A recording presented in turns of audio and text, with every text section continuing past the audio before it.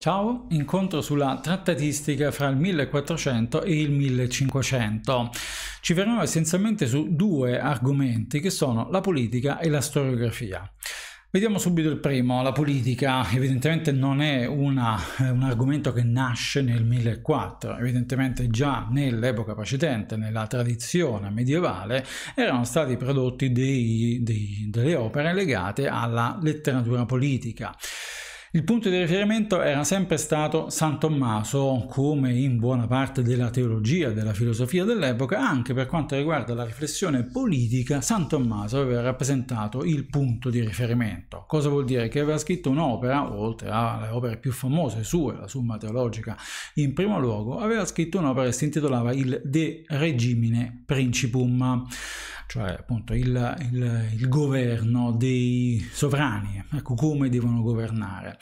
San Tommaso però ovviamente aveva un approccio che era volutamente, non in maniera erronea, ma volutamente teorico, cioè ehm, c'è un significato religioso dietro l'azione politica? San Tommaso è convinto di sì, certo che c'è, nel senso che l'avevamo in parte e a quelle lezioni ti rimando visto con Dante, no? con il, il, De Monarchia, poi ribadito da alcuni, eh, da alcuni canti, soprattutto del Paradiso. Cosa ci diceva appunto il pensiero medievale in generale e sicuramente San Tommaso in primo luogo? Che l'azione del governante aveva una sua ricaduta in ambito religioso. Perché? Perché se il governante governa in maniera retta, giusta, onesta la città, o la regione o il regno, quello che, su cui governa, evidentemente i cittadini, i sudditi sono eh, predisposti, perché evidentemente liberi da beghe politiche, sono predisposti a pensare all'aldilà, a pensare come si deve orientare verso il bene, verso Dio, la propria esistenza. Quindi una, eh, il bene comune non è esente dalla ricerca del del paradiso, ecco, diciamo così più semplicemente. E allora ovviamente San Tommaso si concentra sulla, su come il governante deve portare i propri sudditi ancora una volta verso Dio, no? verso una scelta eterna positiva. Capiamo da soli che era un approccio ovviamente teorico, nel senso che ehm, le indicazioni che dà San Tommaso sono di ordine appunto puramente teorico, cioè si dovrebbe fare così, si dovrebbe agire in questo modo, si dovrebbe portare il cittadino a vivere in questo modo, si dovrebbe, si dovrebbe, si potrebbe, però ovviamente eh, non c'è nessuna realtà concreta, storicamente determinata, che segue, che seguiva a quel tempo i dettami di San Tommaso. Per questo motivo nascono più o meno nello stesso periodo di San Tommaso, nascono altri trattati invece un po' più pratici, ecco, per studiare almeno quali sono le varie tipologie di governo, le varie istituzioni, in che modo si sono comportati e quindi come si dovrebbero comportare i signori, no? i padroni, i podestà che governano su alcune città, governo oppure territori di vario genere. Ecco, si comincia a concretare un po' quel pensiero che San Tommaso aveva eh, ovviamente teorizzato. Nell'umanesimo, quindi arriviamo al 1400, all'inizio almeno del 1400, eh, certamente il genere letterario che si sviluppa è un genere affine in qualche modo a quello di San Tommaso, che vuol dire, non, non fraintendiamo, nel senso che Speculum Principis, cioè lo specchio del principe, ecco, è il trattato tipo del 1400 cioè il governante vero, reale, doveva in qualche modo specchiarsi in questo libro e ritrovarsi in questo trattato che parlava delle virtù che doveva vivere. La formazione, le caratteristiche proprie del principe perfetto, che evidentemente nella pratica non esisteva. Mm. Per questo dico c'è un filo che unisce, ed è uno dei tanti fili che unisce il Medioevo all'umanesimo, no? noi che siamo eh, anche per motivi scolastici tanto eh, legati a divisioni, periodizzazioni molto nette, ecco, questo certamente è un filone di unità, no? una, una linea che continua fra il Medioevo e l'umanesimo. Anche ovviamente gli umanisti eh, mantenevano quindi le posizioni astratte, il principe ideale doveva essere ovviamente anche lui, giusto, buono, retto, onesto, eccetera, eccetera, eccetera. E quindi fare un elenco delle virtù principali per poter governare bene. Mm? Ovviamente nella prima metà del 1400 prevalgono opere legate alla educazione del principe, alla sua formazione iniziale, nella seconda metà, ma queste sono sempre periodizzazioni scolastiche evidentemente, eh, prevalgono invece trattazioni relative alle problematiche legate specificamente alle azioni di governo. In entrambi i casi però rimane invariata l'impostazione teorica dell'opera, come dovrebbe essere il principe. Ed è in questo contesto che verso la fine del secolo si imposta appunto la novità di Machiavelli, perché con il suo Principe, un manualetto di cui parleremo poi in un'altra video lezione, L'impostazione è invece molto concreta, molto reale, no? eh, non sto qui a dire altro, eh, non c'è appunto una idealità dell'uomo di governo, No, cioè invece la pratica come adesso in questa circostanza concreta o simile a quella che si può trovare in questo contesto storico, ecco come si deve comportare il principe per avere successo. Non c'è una astrazione, non c'è una teorizzazione. Machiavelli è legato alla pratica, alla realtà effettuale della cosa. È vero che rimane in ambito umanistico, la novità è soprattutto concettuale, non è diciamo così letteraria, perché? Perché ovviamente è un trattato eh, che vuole insegnare qualcosa, si pone Machiavelli sulla cattedra in qualche modo della propria conoscenza politica, mm, poi vedremo eh, cresciuta eh, indipendenza dagli anni passati come segretario della Repubblica Fiorentina, ma eh, appunto eh, rimane in ambito ambito uh, umanistico proprio perché vuole insegnare qualche cosa. Mm? Il trattato ovviamente ha una forte impostazione, possiamo dire, logico-argomentativa, no? che è proprio tipico del trattato dell'umanesimo, di epoca umanistica ma voglio dimostrare una eh, mia idea attraverso appunto delle argomentazioni. Mm? Vedremo poi, entreremo nel dettaglio, quindi c'è una, un forte, una, un forte, una forte dimensione argomentativa, come è giusto che sia in un trattato di questo tipo. Perché è legato al classicismo? Perché evidentemente il modello che viene dal passato diventa esemplare come volevano tutti gli scrittori di eh, storia o che si avvalevano di conoscenze storiche. Lo vedremo dopo con Guicciardini perché per lui sarà la novità. Ovviamente l'intento pedagogico eh, è molto più forte, marcato, no? eh, anche se appunto manca quel principio di autorità che in qualche modo avevamo visto a suo tempo molto operativo in epoca medievale no? e in qualche modo messo in discussione proprio dall'umanesimo. La storiografia, secondo punto, quindi che andiamo ad affrontare è l'ambito, cioè come si scrive storia, ecco come andrebbe scritta storia, come si deve scrivere di storia. I umanistici, umanisti avevano appunto una, uh, una concezione storiografica mh, molto legata all'idea classica eh? eh? L'idea classica significa eh, l'idea latina per lo più, in particolare parlo di Livio e Sallustio, che avevano impostato la storia, il racconto storico, ecco in questo senso, il racconto storico secondo un'impostazione fortemente moralistica. Mm?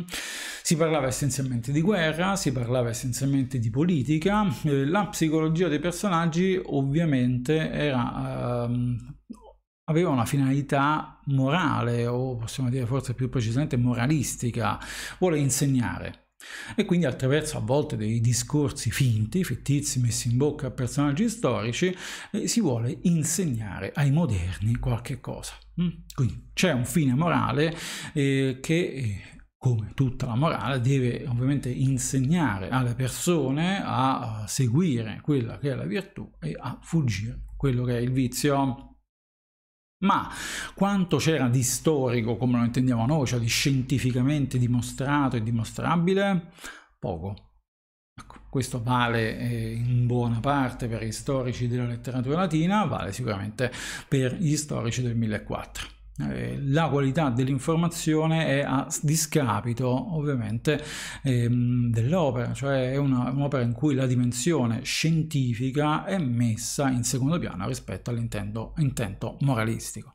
Le fonti, bah, le fonti si trova più o meno sono verificate, le fonti sono mh, mm, importanti ma fino a un certo punto, ecco.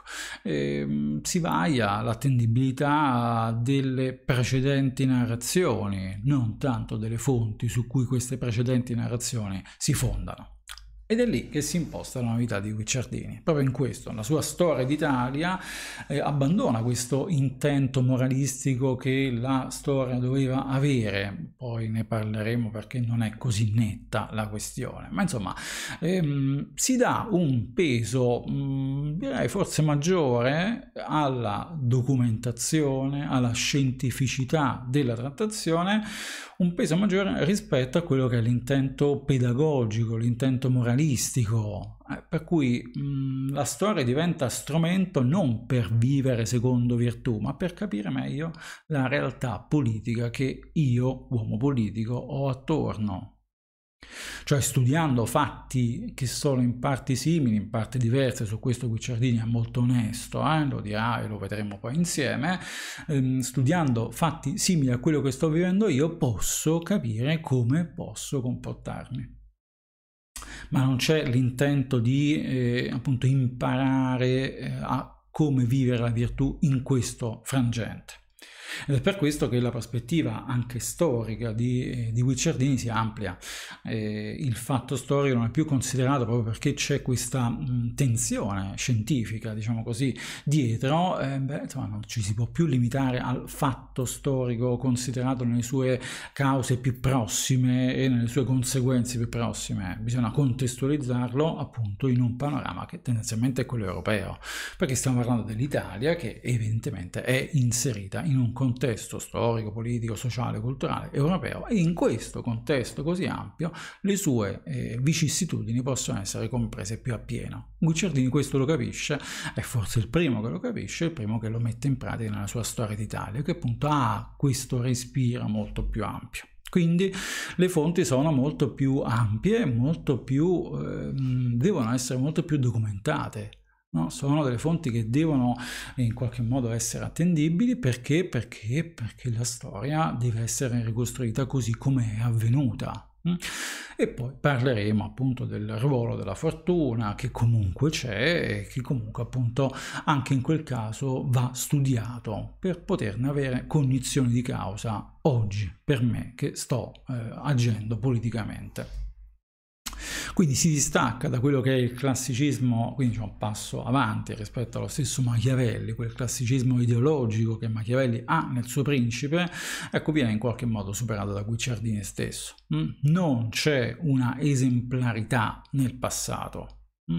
Ogni periodo ha avuto mm, momenti bui, momenti invece più luminosi, ogni storia ha avuto eh, delle caratteristiche, delle um, cause, delle circostanze che l'hanno determinata cambiando, ci dirà, ci dirà Guicciardini, cambiando una singola eh, causa o circostanza, beh, insomma, il resto può cambiare di conseguenza. Quindi la storia non è magistra di niente, mm, mm, così semplificando un po' il pensiero di eh, Guicciardini. Mm, non si danno infatti situazioni nella storia, situazioni perfettamente identiche, per cui le conclusioni, le conseguenze di un determinato evento possono variare per al variare variare delle circostanze. Quindi Machiavelli aveva scoperto l'autonomia della politica dalla morale, in qualche modo Guicciardini scopre l'autonomia della storia dalla morale mm, o in generale l'autonomia in genere, ecco, possiamo dire così. Ci sono delle leggi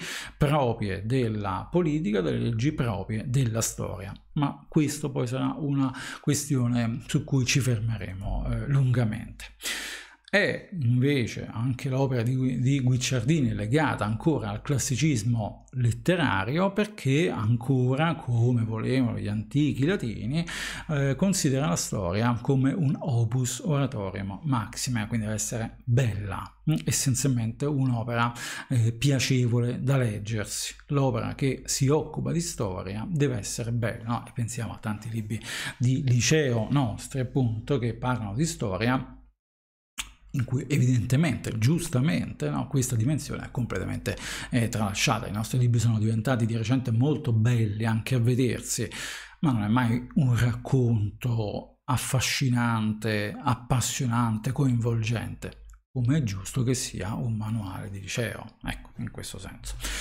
Altre forme della trattatistica, ci arriviamo alla conclusione. Eh, evidentemente il trattato ebbe molto successo in questa epoca, perché da una parte paradossalmente no, si ricollega ai grandi modelli del passato, Platone che cominciava a diffondersi come conoscenza eh, letteraria concreta del greco in quel periodo, e Cicerone che rimaneva il punto di riferimento sotto vari aspetti. E legato al passato, ma contemporaneamente pare essere uno dei generi più frequentati proprio perché è un genere che può eh, in qualche modo spiegare le novità a cui il pensiero autonomo dei, eh, degli intellettuali può arrivare. Cioè il trattato è proprio quel genere letterario che può spiegare la mia opinione in disaccordo con altri o in disaccordo con la tradizione, con l'autorità, la mia opinione su questo determinato argomento. Ecco, questo qua è un tratto tutto sommato interessante, se volete paradossale, quindi legato al passato perché ha dei grandi modelli, però legato all'attualità perché evidentemente è uno strumento utile per promuovere le proprie idee. No? Il Rinascimento eredita quindi tale tradizione. Eh, esistono però delle differenze. Nel 1500 stiamo parlando ancora di forma, nel, mille, nel 1500 si scrive per lo più in volgare, mentre nel 400 si preferiva il latino. La trattatistica quattrocentesca è ancora ovviamente in forte polemica con le epoche precedenti. Mm? Quella cinquecentesca invece cerca di eh, in qualche modo sintetizzare quelli che sono i risultati acquisiti nel 1004 e cercando di divulgarli, addirittura dando un certo ordine, quasi codificando quel mondo eh, ideale che eh, il comportamento e il sapere in genere avevano con sé. E allora arriviamo a livello formale, per adesso ancora siamo fermi qua. A livello formale ci, eh, si possono distinguere almeno eh, due eh, tipologie di trattato, il trattato monologico e il trattato dialogico. Il primo, il monologico, come dice il termine greco abbastanza semplicemente, è una sola voce che parla, mm? è quella dell'autore che evidentemente mh, mm, espone la propria tesi in maniera forte, determinata, attraverso argomentazione, però ecco, presenta una soluzione univoca. Quello che ti dico è giusto, punto. Mm, questo è il principio di Machiavelli, che difficilmente, poche volte lascia spazio alla, appunto, al contraddittorio, lascia poco spazio evidentemente alla eh, discussione, all'argomentazione contro l'antitesi. Ecco, questa è la verità, io ve la dico. Quello dialogico invece presenta eh, a livello formale appunto delle diverse, diverse voci che parlano fra di loro. Dialogico questo significa, no? Per cui eh, dietro un personaggio c'è sicuramente la voce e l'opinione dell'autore, ma dietro agli altri personaggi troviamo quelle che sono le possibili opposizioni a questa eh, idea. Per cui è anche molto più eh, affascinante come, come, tipologia, come struttura, perché tu, lettore che non la pensi come il, l'autore, beh, ti puoi calare nel personaggio, in uno dei personaggi che appaiono e, e far tue quelle che sono le obiezioni che tu faresti all'autore stesso e trovare ovviamente nelle risposte del personaggio eh, la risposta alla tua obiezione, se è fatto bene. Possiamo, possiamo distinguere all'interno del trattato dialogico altri due sottogeneri, ma qua sono, sono, sono appunto uh, schematizzazioni scolastiche utili, ma insomma. Diegetico, diegetico cosa vuol dire? C'è una impostazione eh, che è legata alla diegesi, cioè alla narrazione, quindi c'è un'ambientazione, c'è un contesto in cui si svolge questo dialogo, c'è una descrizione degli ambienti, descrizione dei personaggi, degli atteggiamenti, eccetera, eccetera. Esempio classico sono gli asolani di, eh, di Bembo, come anche le prose della volgar lingua, ma anche il corteggiano, di cui torneremo a parlare dopo. Accanto al trattato diegetico, ovviamente c'è il trattato mimetico, Mm, detta male, un, un, testo che assomiglia molto a un testo teatrale, no? perché eh, pochi mm, sono i raccordi narrativi no? e così si concluse la prima giornata di discussione. I personaggi si fermarono per, per pranzare tutti insieme. Mm, sto dicendo delle stupidaggini, ma insomma eh, ci capiamo. Eh, in realtà tutto il trattato è Tizio dice questo, Tizio dice quest'altro, Tizio risponde, Tizio domanda, Tizio argomenta, ti... appunto finisce eh, con le battute del dialogo. Entriamo nel dettaglio dei contenuti, appunto, il comportamento e il costume. Abbiamo parlato di storia, abbiamo parlato di politica, rispettivamente Guicciardini e Machiavelli, adesso parliamo di altri argomenti. Quindi quali sono i contenuti della trattatistica fra 1400 e 1500? Certamente questi, cioè il comportamento e il costume, no? importanti perché per noi sono uno spaccato della civiltà del 1400 e del 1500 molto molto importanti. No? Eh, però ci, in qualche modo ci rivelano anche un'altra caratteristica proprio del 1400 e 1500, che è vero, si rifiuta eh, l'idea dell'autorità, ma alla fin fine non fanno altro che riproporre un'altra autorità, che è la loro. No? Cioè, come ci si deve comportare a, a corte, ecco, il corteggiano di eh, Baldassare Castiglione, eh, quello è appunto è un'altra ennesima autorità, no? come dire che anche questo paradossalmente è una, è una linea che lega il Medioevo al, all'umanesimo, alle epoche successive. Il Galateo, eh, il Galateo è una parola che è rimasta anche nel nostro vocabolario, ma nasce come opera di Giovanni della Casa, no? per cui come ci si deve comportare a tavola, come ci si deve comportare con l'ambasciatore, come ci si deve comportare durante il ballo, di nuovo come ci si deve Ecco, l'autorità che rimane, eh, rimane importante. Quasi dialogo filosofico sono gli Asolani di Bembo, no? che eh, sviluppa tematiche neoplatoniche, in particolare l'idea sull'amore viene trattata, guarda caso, no? tematica fondamentale della poesia, della letteratura di tutti i tempi. Mm? E anche in questo caso si cerca, si pretende in qualche modo di eh, incidere quasi nelle prassi comportamentali del tempo. Però un altro argomento è appunto la filosofia. Ultimo è appunto l'argomento linguistico, più specificatamente letterario. Eh, ne abbiamo già parlato, le prose della volgar lingua di Pietro Bembo 1525 segnano un, un punto importante della letteratura italiana. No? Eh, anche in questo caso l'autorità indiscussa di quest'uomo fa sì che vengano assunti come modelli di letteratura da una parte eh, Petrarca per chi vuole scrivere poesia, dall'altra Boccaccio per chi vuole scrivere in prosa. Boccaccio ovviamente specifica bene il Boccaccio dell'introduzione, della cornice, delle introduzioni alle diverse giornate e delle novelle più, più belle, più nobili. Ecco, questo qua è il Boccaccio punto di riferimento.